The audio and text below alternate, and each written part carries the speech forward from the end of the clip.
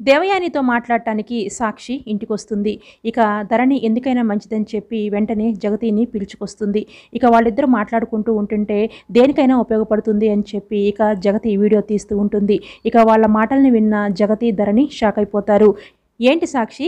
ఇదంతా నీ పనేనా? అందుకేనా రిషి వసుధార మీద కోప్పడ్డాడు. పాపం వసుధార ఎంత బాధపడిందో పొద్దున అని అనుకుంటూ ఇక వెంటనే జగతి మహేంద్ర దగ్గరికి వెళ్ళి జరిగింది మొత్తం చెప్పి వీడియో చూపించేసరికి పాపం వసుధారాన్ని బలిచేసిందా ఈ సాక్షి అని అనుకుంటూ వెంటనే జగతి మహేంద్ర రిషి దగ్గరికి వెళ్ళి రిషి నువ్వెందుకు వసుధరాని పొద్దున కోపడ్డావు తెలుసుకోవచ్చా? అని చెప్పి మహేంద్ర అడిగితే ఇప్పుడు అవన్నీ ఎందుకు డాడీ? అని అంటాడు రిషి ఎందుకు అంటే పొద్దున్న నువ్వు దేనికోసమైతే వసుధరాని కోప్పడ్డావో నువ్వు అనుకున్నదంతా కూడా నిజం కాదు. ఎందుకంటే నువ్వు వసుధరాని తప్పుగా అపార్థం చేసుకున్నావు. ఇదిగో ప్రూఫ్ అని చెప్పి ఇక మహేంద్ర తన చేతిలో ఉన్న సెల్లులో ఉన్న వీడియో చూపించేసరికి అదంతా విన్న రిషి షాక్ అయిపోతాడు. ఏంటి? సాక్షి ఇదంతా కావాలని చేసిందా? అంటే నేను వసుధరా మాట్లాడుకుంటూ ఉంటే మమ్మల్నే ఫాలో అవుతూ అక్కడికే వచ్చిందా? అని అనుకుంటూ ఇక రిషి షాక్ అయిపోతూ ఉంటాడు ఆ వీడియో చూస్తూ.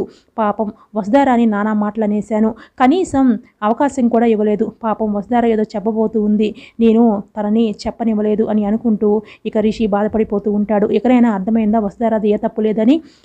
అయినా ఇన్ని రోజుల నుంచి చూస్తున్నావు వసుధార ఏంటో వసుధార మనసేంటో నువ్వు ఇంకా అర్థం చేసుకోలేదా రిషి? అని అంటూ ఉంటుంది జగతి. నువ్వు అన్న మాటలకి వసుధార చాలా బాధపడిపోతుంది. వెంటనే ఫోన్ చెయ్యి అని చెప్పి జగతి మహేంద్ర అక్కడి నుంచి వెళ్ళిపోతారు.